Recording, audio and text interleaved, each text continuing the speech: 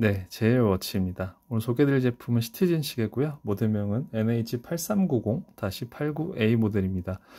어, 이 제품 같은 경우는 올해 새롭게 출시된 모델인데 어, 라인업이 굉장히 다양합니다. 일단은 청판도 메탈 모델이 있는데 청판 같은 경우는 순정 bracelet이 mesh가 아니라 이렇게 endpiece가 있는 일반 타입의 bracelet을 써줬고요.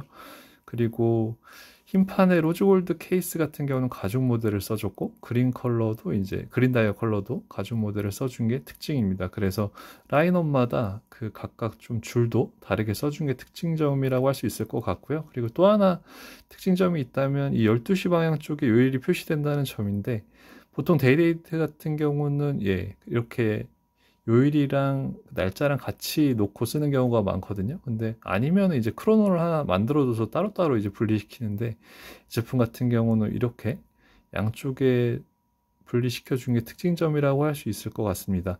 하지만 이게 뭐 디자인적으로 굉장히 미적 요소가 올라간다거나 그렇게 보긴 좀 어려울 것 같고요. 음, 반응이 그걸로 인해서 반응이 되게 호평을 받거나 그러지는 않을 것 같아요. 그냥 약간 좀 특이한 부분이구나 생각하시면 될 것 같습니다. 시계를 어, 스펙을 좀 소개를 해드리자면 일단 40mm 케이스 사이즈를 가지고 있고요. 그리고 두께가 좀 두껍습니다. 13mm 정도 되고요. 방수 같은 경우는 5기압이고 그리고 글라스 같은 경우는 그냥 크리스탈 글라스라고 되어 있는 거 보니까 미네랄, 미네랄 글라스라고 보시면 될 것 같습니다.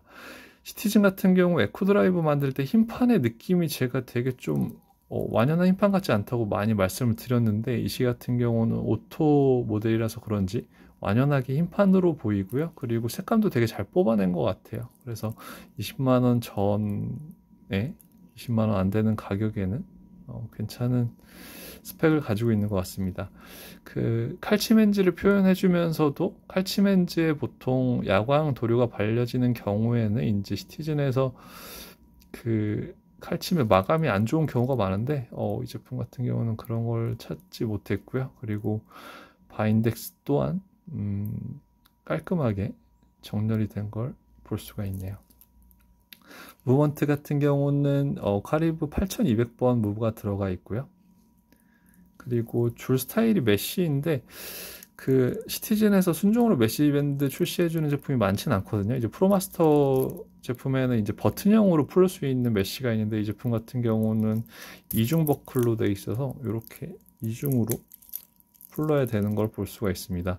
그리고 예, 그 mesh 밴드 좀 싼 mesh 밴드 같은 경우는 이 부분이 좀 얇아서 견고하지 않거든요. 근데 어, 이런 타입 자체가 그렇게 좋지는 않은 것 같아요. 왜냐면은 여기를 음, 이렇게 걸고 잠가야 되기 때문에 이쪽이 휘어지면은 잘 안 잠기는 경우가 있거든요. 근데 이런 쪽 수리는 부품을 따로 구해야 되기 때문에 일반적으로 파는 부품이 아니기 때문에 이런 형태의 mesh는 그렇게 저 같은 경우는 선호하진 않습니다.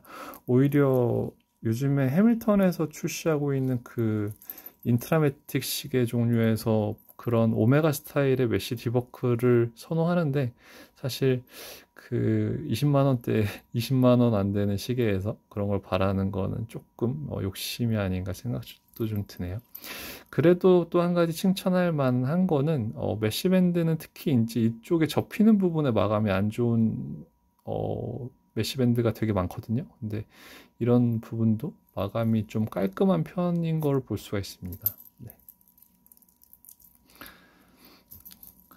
그래서 40mm 사이즈이기 때문에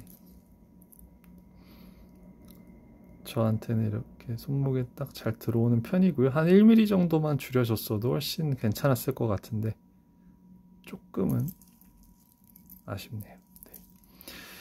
일단은 수동 감기는 그냥 용두 닫힌 상태에서 지원이 되고요. 그리고 예, 두 칸 돌려서 돌리면 10분반을 돌아가는 거 볼 수 있습니다. 날짜랑 요일이 돌아가는 것도 한번 보여드릴게요. 아, 핵 기능은 없기 때문에 지금 초침이 계속 움직이는 걸 볼 수가 있고요. 그리고 퀵체인지는 아니기 때문에 거의 날짜는 quick change가 되는데 요일 같은 경우는 거의 한 새벽 3시 정도 돼야 어, 돌아가는 걸 볼 수가 있습니다. 뭐 자연적인 부분이고요.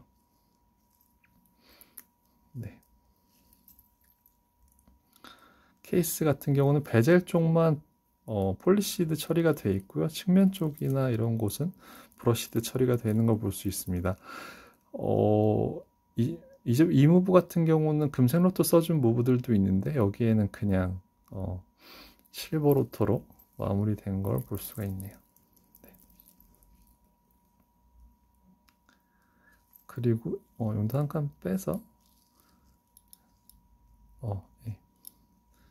뭔가 딱딱 걸리는 느낌이 나는데 한 바퀴 돌리면 중간에 하고 이제 두 바퀴 돌리면 이제 제대로 된 어, 요일을 찾아가는 걸 볼 수 있습니다. 반대로 돌리면 이렇게 날짜 돌아가는 거 볼 수 있고요.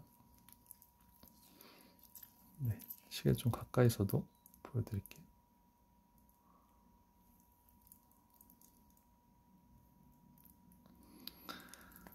네, 그래서 다음에 또 기회가 된다면 어, 그린 컬러 가죽 모델로 리뷰를 좀 해드릴게요. 네, 긴 영상 봐주셔서 감사하고 오늘 리뷰는 여기까지 할게요. 감사합니다.